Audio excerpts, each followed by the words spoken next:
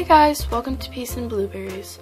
So today I'm starting a new thing on my channel called Nailing It and it's going to be all about nails. So in this episode I'm going to be showing you how to do this simple yet stunning manicure super easy and super quick.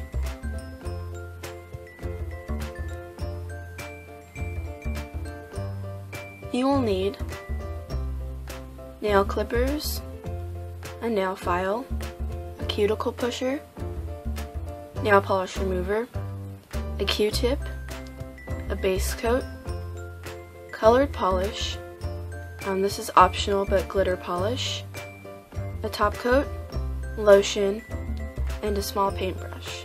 So first you want to prep the nail by clipping, filing, and pushing back the cuticles and trimming any hangnails.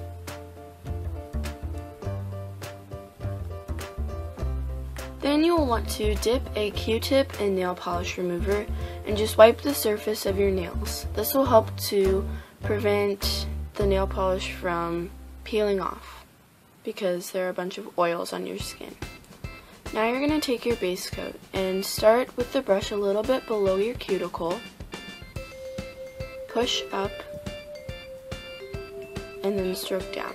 And go back to the same spot except stroke to the right and then to the left.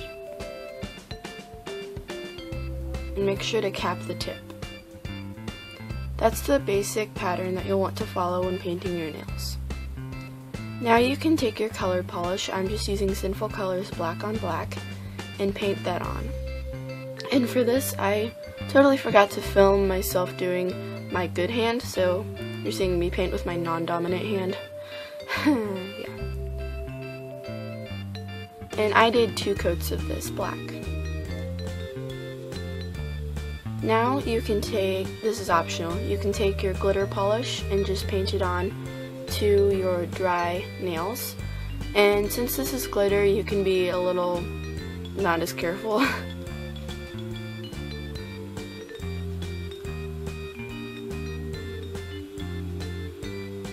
So now as you can see, your nails are kind of messy. So you can just dip your paintbrush into nail polish remover and clean it up. Once that is dry, you can take your top coat and just paint it on. This will help to smooth out the surface and help prevent your nail polish from chipping. And since I'm using Dries Instantly, my first nail is usually done by the time I'm finished with my last nail. So now you're just going to want to apply some lotion to restore moisture. And that's it. I hope you enjoyed this tutorial. Um, stay tuned for some more nail videos. See you later.